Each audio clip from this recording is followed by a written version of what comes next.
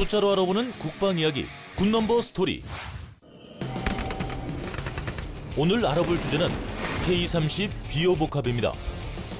K30 비호복합은 단거리 자주 대공포로서 이전 K30 비호의 단점을 보완한 개량형을 말하는데요. 2010년부터 개발돼 2014년에 완성된 무기 체계입니다. 비호는 하늘을 나는 호랑이란 뜻으로 용맹스럽고 날쌔다는 의미인데요. 30mm 기관포와 유도미사일 흰궁을 탑재해 낮은 고도로 침투하는 항공기나 헬기, 드론 등에 특화된 무기체계입니다.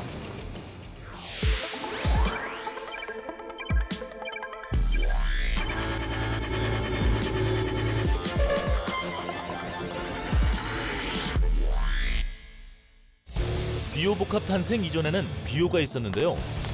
비오는 1983년에 개발되어 1999년 전력화됐습니다. 궤도형 차량 위에 30mm 기관포 두 개가 탑재되어 있는데요. 1분에 600발 발사가 가능합니다.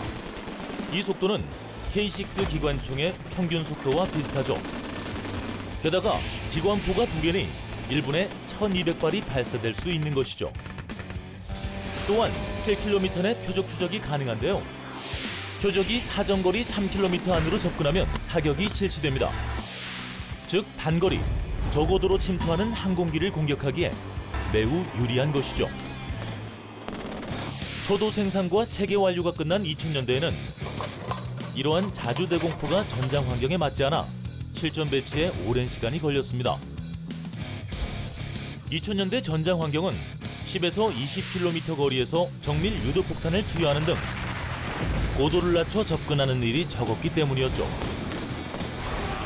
그리고 이때 구원 투수이자 환상의 콤비로 신궁이 등장합니다. K30 비오가 신궁을 만나 비로소 비오 복합으로 업그레이드 되는데요.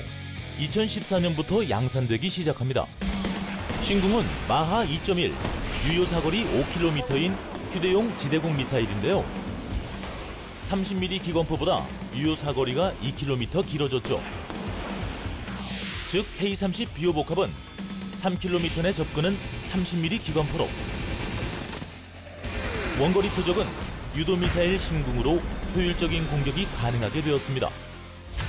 이에 드론과 같은 소형 무인 비행체의 군사적 활용도가 높아지면서 낮은 고도로 접근하는 드론에 대응하기 위한 무기 체계로 비오복합이 주목받기 시작했습니다. 지난해 기준 전 세계 95개국이 군사용 드론을 보유하고 있는데요. 활동하고 있는 드론 규모만 최소 2만 1000대, 많게는 3만 대 이상으로 추산됩니다. 군사적 목적으로 활동 영역을 넓히고 있는 드론. 이 드론을 잡는 드론 킬러로서의 비호복합이 전 세계로 뻗어나가 우리나라 무기의 우수성을 알리기를 기대해 봅니다.